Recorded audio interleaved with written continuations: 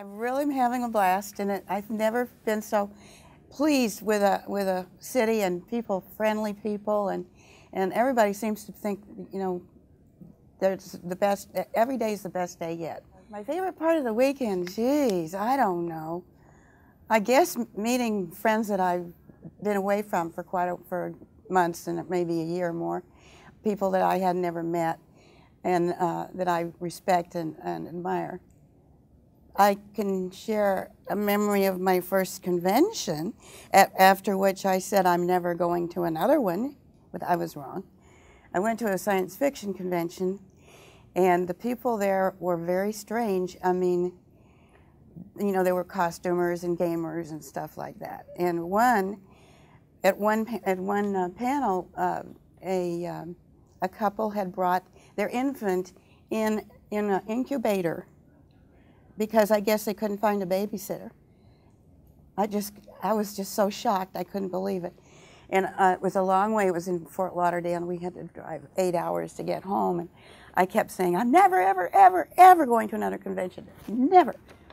But then my first, I, my first horror convention was the first one, I believe, in Nashville, and I had a wonderful time.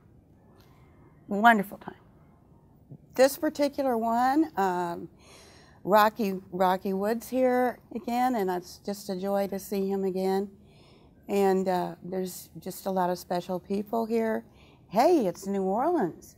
It's the best time to be here too. Um, yes, I I have a, a, new book out with uh, Sandy DeLuca. Um, it's called Dangerous Dreams, and it's a poetry collection. Each poem is a collaboration, and I illustrated this book. We have on the final Stokewood ballot Vampires, Zombies, and Wanton Souls, which is another collection that, of poems that I wrote in response to Sandy's art, and it's all illustrated. Oh, I'd say this that would be a very good thing to consider. Um, I used to go to World Horror Cons, and I realized I, I wasn't a member of HWA, and I thought, well, why not? Why shouldn't I be? You know, everybody else that I like is, and everybody that I respect. And it's a great bunch of people. Now I'd like to talk about raising poetry awareness. This idea came about because of fewer members voting on the poetry category preliminary ballot. Thus, Linda Addison and I volunteered to work on a plan that would raise poetry awareness. To that goal, we have found an editor and assistant. Sandy DeLuca is the editor, and Max Booth III is, the, is her assistant. They um, they have been working on a separate page just for dark poetry at our site.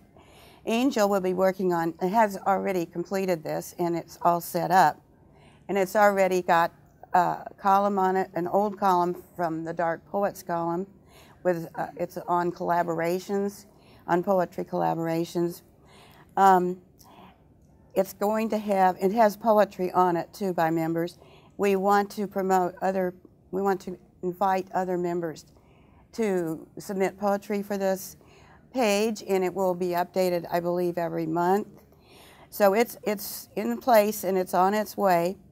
And another thing, we will be announcing these things on our Facebook page when we have special events or things going on with um, material that is posted.